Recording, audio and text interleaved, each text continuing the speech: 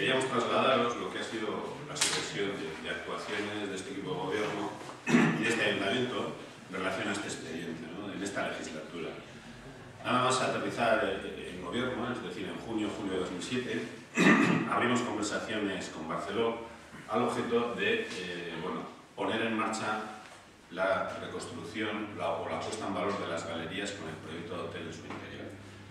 Llegamos a dos primeras conclusiones. Una primera era que teníamos que hacer un estudio del estado actual de conservación de las galerías y eso el encargado de hacerlo era Barcelona, lo hizo a través de la BEI y por nuestra parte eh, llegamos a acuerdos con ellos sobre mejoras que veíamos posibles por ambas partes al, proyecto inicialmente fijado en abstracto. Es decir, y, de ahí salió una serie, de conclusiones que ya en noviembre eh, de 2007 se materializan en el inicio de expediente de modificación puntual del plan general para eh, dar, eh, albergar esas, mejoras que habíamos acordado entre el Ayuntamiento y Barceló y a su vez Barceló hace entrega a Diputación de ese estudio del estadio de conservación de las galerías al Departamento de, Cultura, Patrimonio de la Diputación al objeto de seguir avanzando en las formas de intervención. Con esos dos primeros hitos, a nosotros nos correspondía llevar adelante la modificación del plan general, que tuvo su aprobación inicial, como os he comentado, en el pleno de noviembre de 2007, su aprobación provisional en abril de 2008 y la definitiva en noviembre de 2008. Una vez obtenida la aprobación definitiva, lo que correspondía a Barcelona era redactar el proyecto básico ajustado a esas modificaciones. Y eso da lugar a que en marzo de 2009 Barceló hace entrega a Diputación del proyecto básico de intervención para la construcción eh, de un hotel dentro de las galerías de Punta de Doña. Diputación lo recibe eh, y considera necesario ampliar el informe de la BEIN sobre el estado de conservación y adjudica a Tecnalia Lavín en septiembre de 2009 el estudio complementario, sobre todo ampliándolo a toda la estructura y a los estratos geológicos que soportan esa estructura, es decir, a la ladera que da soporte a la estructura, para determinar el verdadero estado de las galerías, de cara a autorizar la intervención y las formas de intervención recogidas en el proyecto básico presentado en marzo por la En enero de 2010, prácticamente finalizado con el, el, estudio de Penal es cuando eh, nos reunimos con Diputación, con el Departamento de Patrimonio y Diputación, al objeto de que nos, y nos trasladan que las primeras conclusiones es que, que hay algunos elementos de riesgo en lo que es la fachada que pueda provocar algún desprendimiento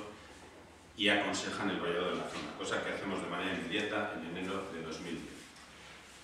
En febrero de 2010 reciben el informe de, de Tecnalia Lavín ya por parte de Diputación, lo reciben, y en marzo emiten el informe, con fecha 9 de marzo tiene entrada ya en este ayuntamiento el informe de patrimonio en relación a la intervención propuesta por Barceló para la recuperación de las galerías y,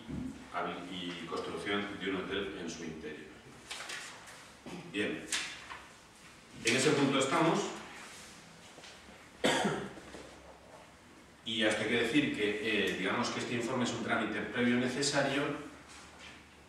para que una vez que sea favorable en todos sus términos, el ayuntamiento pueda pasar al siguiente trámite, que es el de la concesión de la licencia de construcción. Este informe básicamente lo primero que hace es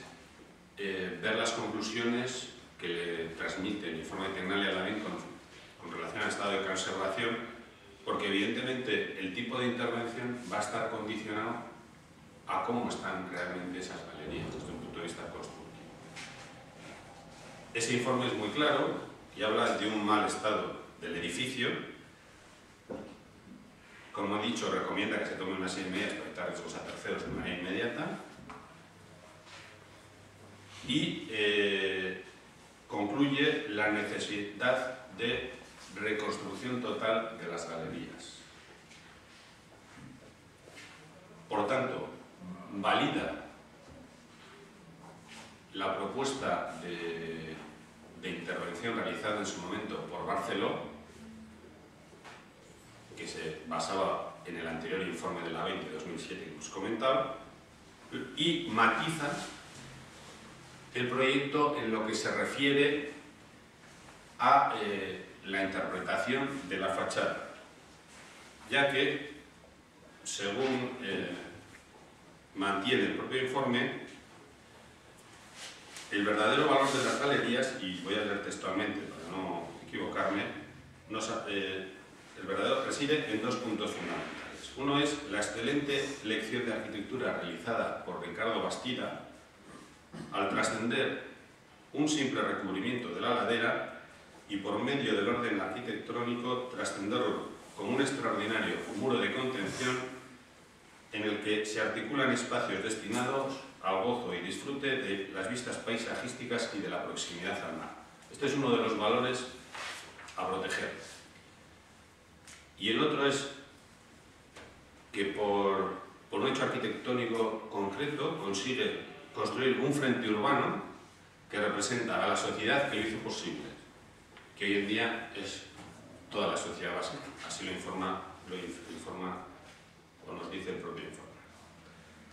Entonces, la única intervención posible es aquella que conserve, respete y ponga en valor estas dos características del elemento arquitectónico. Y de ahí derivamos, proyecto básico que en principio respeta prácticamente eh, muchos de los aspectos a proteger y otros el informe los matiza de forma que Barcelona, en este caso, tendrá que ajustar ese proyecto básicamente en sus condiciones de imagen, es decir, de lo que debemos proteger, en un plazo, bueno, a partir de ahora, una vez que reciba, porque eh, digamos que este informe, eh, el destinatario final inicialmente es el interesado que es Barcelona, que es quien ha presentado el proyecto. Barcelona nos debería venir con ese nuevo proyecto ya ajustado al informe para dar los siguientes pasos.